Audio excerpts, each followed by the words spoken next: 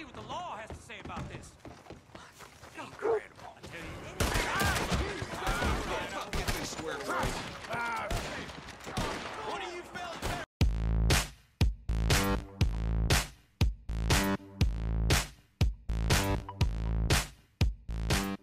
Howdy, viewers. Thank you for returning. And those of you who are subscribing, thank you for subscribing. It helps out the channel. I'm Brad, proprietor of Barstool Entertainment, doing another Red Dead Redemption 2 video. And a previous video I did Talismans and Trinkets.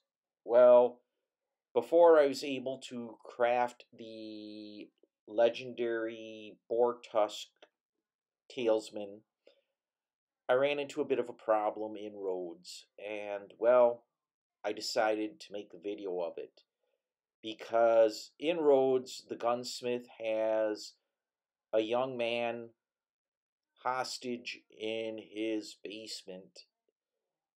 And well, let me just put it this way things didn't work out real well for me, but again, it's a fun video. After I arrived at Rhodes and changed clothing to summer gunslinger outfit, I was going to stop by the gun store to pick up some weapons, and well, this happened. Mister, I've been trapped down here. Why are you dressed up like that? I've seen some sick perversions in my time, but this one might take the prize. No, no, no, no, wait, please. You've gotta help me. It's that crazy gunsmith. He made me dress up like this. He's got me chained to the goddamn bed.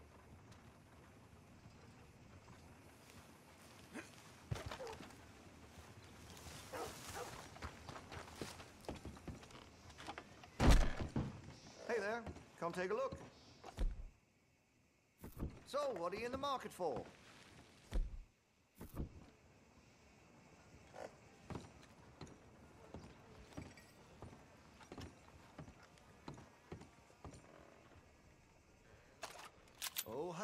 That's a piss poor move.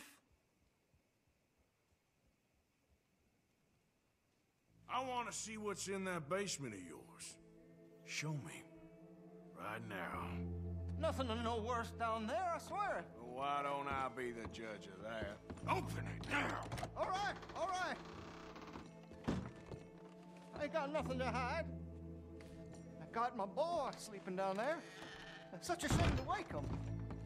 You know, you can always come back after he wakes up.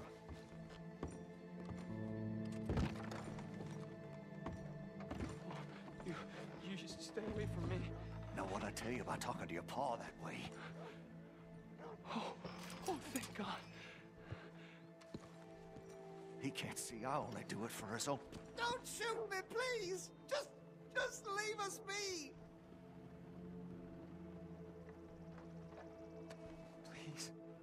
Please help me. He, he's got me chained up here. No, the chains! Shoot the chains! No! What have you done?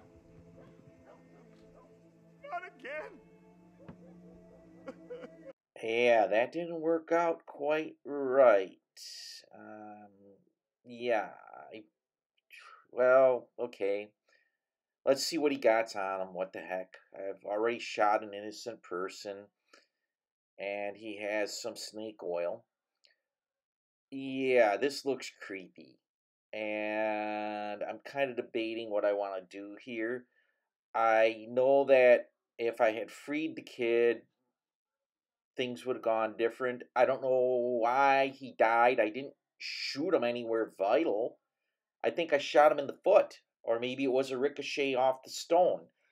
Yeah, but whatever. I mean, I'm innocent, right? I could just walk out here now and, well, I'm going to loot this gun case, though. For you?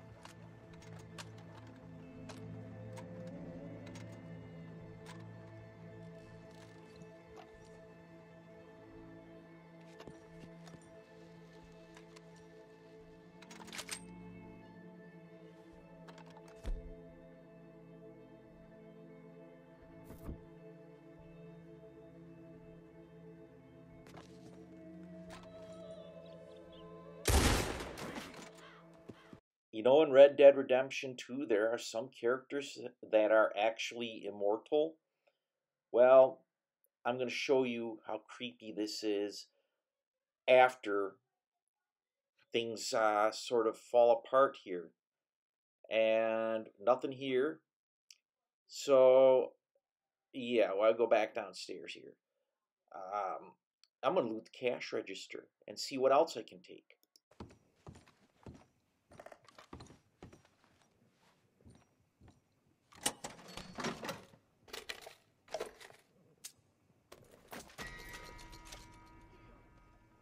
$29.64.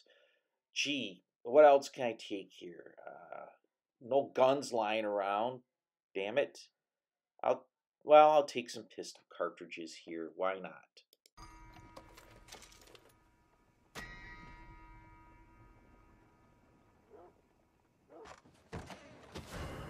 Let's see what the law has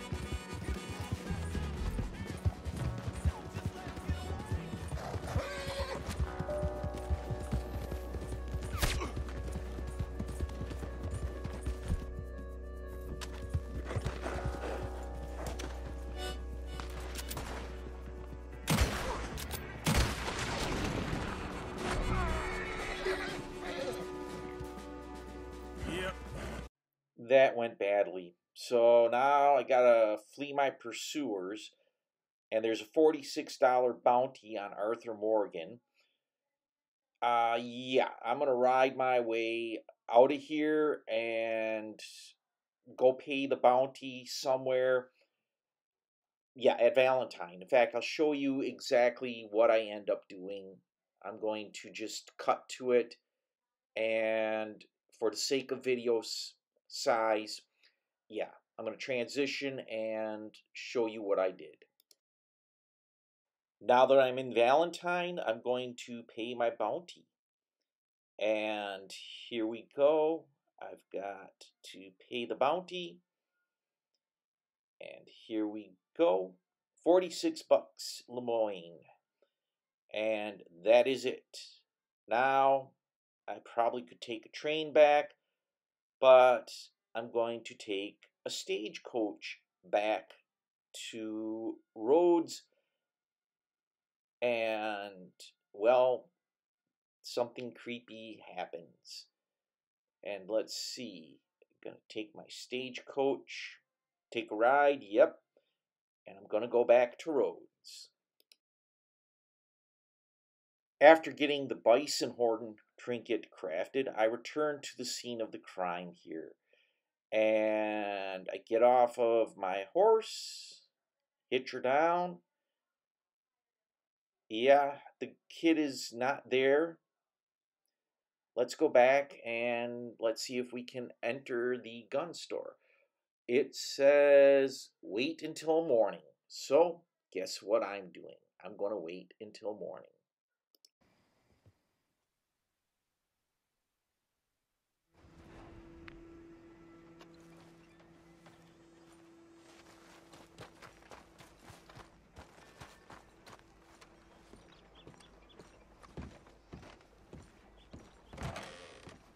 I'll be running this shop long after you're gone. Let's try to make friends, not enemies.